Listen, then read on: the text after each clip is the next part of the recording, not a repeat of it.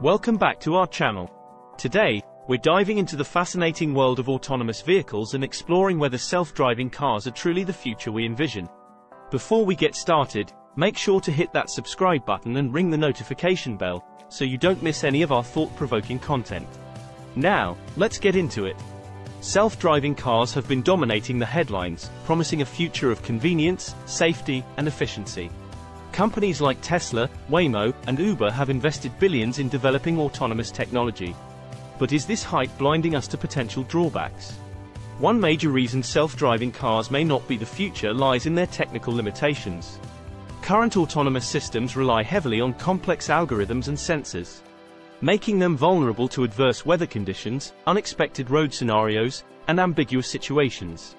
Another obstacle to widespread adoption is the need for significant infrastructure upgrades. Our current roadways were not designed with self-driving cars in mind. And retrofitting them to accommodate autonomous vehicles can be an expensive and time-consuming process. Self-driving cars introduce ethical dilemmas. In unavoidable accidents, should the car prioritize the safety of passengers or pedestrians? The debate over this issue raises important questions about the moral responsibility of autonomous vehicles. With more technology comes more vulnerability.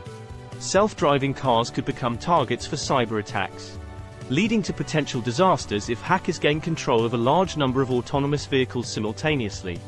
The rise of self-driving cars could lead to significant job displacement in industries like transportation and delivery. What happens to the millions of truck drivers, taxi drivers, and delivery drivers who may lose their livelihoods due to automation? Self-driving technology is currently expensive to develop and deploy. The cost of these vehicles might remain out of reach for many, limiting their accessibility and creating a technological divide in society. Trusting fully autonomous vehicles may be challenging for some people. Overcoming the psychological barrier of letting go of control and putting one's life in the hands of a machine is a significant hurdle for mass adoption. Despite the challenges, there is still hope for a more balanced future.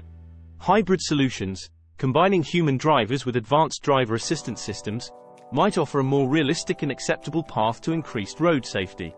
While self-driving cars have undeniable potential, we must be cautious not to overlook the hurdles they face. Before we declare them the future, let's critically assess the challenges and seek solutions that prioritize safety, ethics, and accessibility. Thanks for watching. If you enjoyed this video, give it a thumbs up and share it with your friends. We'd love to hear your thoughts in the comments below. Don't forget to subscribe and stay tuned for more insightful content. See you next time.